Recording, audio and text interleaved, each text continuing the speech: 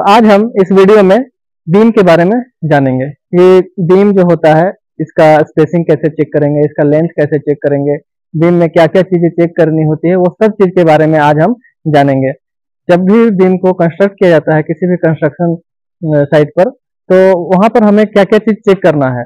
जो site engineer होता है, वो क्या क्या चीज़ चेक करता है, और ये फ्रेशर के लिए बहुत ही अच्छा वीडियो होने वाला है। तो वीडियो को लास्ट तक देखें, और ज़रूर देखें कि क्या क्या चीज़ें कैसे चेक की जाती हैं? तो सबसे पहले हम इस चीज़ में बीम में देखेंगे कि इसका जो बीम का लेंथ है, वो आपके ड्राइंग के अकॉर्डिंग ये प्रॉपर है या नहीं। तो उसे चेक करने के लिए सीधा हम एक टेप लेंगे और इस टेप से जो हमारा टॉप बार है, वो देखेंगे कि इसका लैपिंग किस साइड में है और उस साइड से रखकर इसे प्रॉपर तरीके से इस तरह से लेंथ को चेक करेंगे। ओके लेंथ को चेक करने के बाद हम जो स्टीरप्स है, ये जो स्टीरप्स गिवन है, उसका स्पेसिंग को चेक करेंगे प्रॉपर तरीके से कि किस तरह से स्पेसिंग को दिया गया है। जो आपके ड्राइंग में स्पेसिंग हो, मान लीजिए अगर 200 है 150 फिफ्टी mm है या फिर 250 फिफ्टी mm है तो उसके अकॉर्डिंग चेक करेंगे। इस बीम में हमारा गिवन है 200 तो 200 ड्राइंग के अकॉर्डिंग है, वो हम लोग चेक करेंगे। देखेंगे और एक बार में हम लोग कम से कम फाइव स्टेप्स को चेक करेंगे। One two three four and five five steps को जब लेंगे, वहाँ पे हमारा 200 के अकॉर्डिंग वन मीटर यानी कि वन थाउज़ेंड एम प्रॉपर होना चाहिए। ओके इस तरह से आप स्टीरप्स को चेक करेंगे। और जो बीम है हमारा, इस बीम का जो ये स्टीरप्स है, ये स्टीरप प्रॉपर तरीके से फिट है कि नहीं, बैठा हुआ कि नहीं, वो हम लोग चेक करेंगे। क्या करेंगे? जब हम लोग ये टाई करते हैं तो ये टाई को हिलाकर चेक करेंगे कि ये टाइट है या नहीं।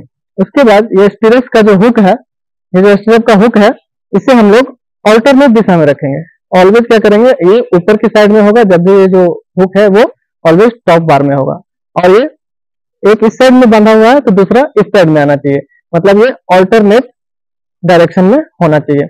ओके और जब हम लोग इसे टाई करेंगे तो इसका जो टाई होगा, उसमें हम लोग क्राउन टाई यूज़ करेंगे टॉप बार में। टॉप बार में जब भी हम लोग टाई करेंगे स्ट्रेस को तो वहाँ पे क्या करेंगे क्राउन टाई का यूज़ करेंगे। और जब भी बॉटम में यूज़ करेंगे बॉटम का टाई करेंगे तो यहाँ पर हेयर पिन टाई हम लोग यूज़ करेंगे बॉटम बार में।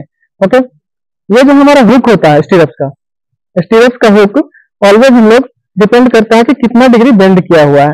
अगर ये 135 डिग्री बेंड किया हुआ है तो वो हमारा 12 डी होगा, जो कि 96 होना चाहिए। कितना? 12 डी यानी कि यानी कि ये हमारा जो स्टीरप्स है, उसका डायमीटर है 8 और ये 12 डी होना चाहिए तो 12 इंटू डी यानी कि 12 इंटू एट तो कितना आता है? 96 तो ये जो हमारा हुक है यहाँ पे, वो 96 है अकॉर्डिंग टू ड्राइंग तो हम लोग चेक करेंगे कि वो प्रॉपर है या नहीं है उसका लेंथ उसके बाद बीम को हम लोग डेप्थ चेक करेंगे तो ऑलवेज इस प्रकार से नहीं चेक करेंगे. जो हमारा टॉप बार है तो इसका जो है, इस तरह से कभी भी चेक नहीं करना है.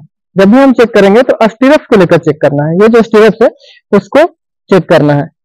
ये हमारा इसका ब्रेथ आएगा, जो इस ड्राइंग के according three three hundred M है. और इसका जो डेप्थ हम लोग चेक करेंगे, जब डेप्थ चेक करेंगे तो ये भी स्टीरप्स को लेकर. ये हमारा 400 है इसके अकॉर्डिंग तो इस तरह से हम लोग इसका डेप्थ और ब्रेथ को चेक करते हैं किसी भी बीम का। और जब स्टीरप्स को टाई करते हैं, उस वक्त हम चेक करेंगे कि ये जो वर्टिकल पोजीशन जो इसका होता है स्टीरप्स का, वो प्रॉपर है कि नहीं। तो वो हम लोग चेक करने के लिए प्लम्बर का यूज़ करेंगे। यहाँ पे हम लोग इस तरह से प्लम्बर लगाएँगे और वो चेक करेंगे ये वर्टिकल है या नहीं है।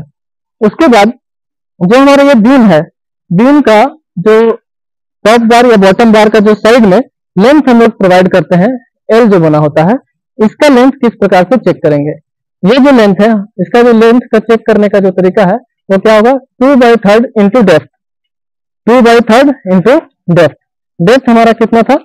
400 तो two by third into four hundred two by third into four hundred करेंगे तो हमारा आता है 266 तो ये हम लोग चेक करेंगे कि ये प्रॉपर 266 एल है या नहीं है। ये देखिए, लगभग ये 260 है तो इतना चलेगा, कोई दिक्कत नहीं है इसमें। तो इसमें हम लोग का सब कुछ चेक करना होता है बीम में। ये जो बीम है ऑलवेज आप चेक करें कि जो स्टीरप्स है, ये हमेशा वर्टिकल होना चाहिए, इसका टाई टाइट होना चाहिए, और लेंथ ये सही होना चाहिए। और जब हम लोग यहाँ पे लैपिंग आती है बॉटम बार और टॉप बार का जो लैप आता है यहाँ पे हम लोग जो टाई करेंगे तो यहाँ पे हम लोग स्प्लाइस टाई यूज़ करेंगे। कौन सा टाई स्प्लाइस टाई यूज़ करेंगे। और ये टाइट है कि नहीं, वो भी साथ साथ में इसे चेक कर लेंगे। हम जो देखेंगे, इस बीम का जो स्टील है, वो ड्राइंग के अकॉर्डिंग प्रोवाइड किया गया नहीं। जैसे अगर टॉप बार है तो इस बीम में ड्राइंग के अकॉर्डिंग इसका 12 एम का डाया होना चाहिए टॉप बार में, और बॉटम में 16 एम का होना चाहिए। तो आप लोग चेक कर ले। 16 एम का डाया और ये 12 एम का डाया अब बात करेंगे हम इसके ग्रेड के बारे में। जो स्टील है। स्टील का ग्रेड क्या दिया गया है? वो जैसे कि स्टील में जो ग्रेड होता है, वो लिखा होता है। अब यहाँ पे देखिए, जो 16 एम का डाया है स्टील है, उसका जो ग्रेड है, यहाँ पे दिया हुआ है 500 D five double zero D क्या है? फाइव हंड्रेड डी उसी प्रकार से जो हमारा ट्वेल्व एम है, उसका भी जो ग्रेड है, वो भी फाइव हंड्रेड डी दिया हुआ है। और जो बीम है, वो इस तरह से प्रॉपर खड़ा होकर चेक करना है ये स्ट्रेट है या नहीं है। स्ट्रेटनेट इसका चेक करना बहुत ही ज़रूरी है। ओके तो इन सब चीज़ों को हम लोग चेक करते हैं एक साइट पर किसी भी बीम में और प्रॉपर तरीके से चेक करते हैं। आप भी सही तरीके से चेक करें। ड्राइंग को ऑलवेज प्रेफर करें कि ड्राइंग के अकॉर्डिंग जो हमारा बीम है वो बना है कि नहीं बना है। इस तरह से आप किसी भी बीम को चेक कर सकते हैं कंस्ट्रक्शन साइट पे। Thank you for watching this video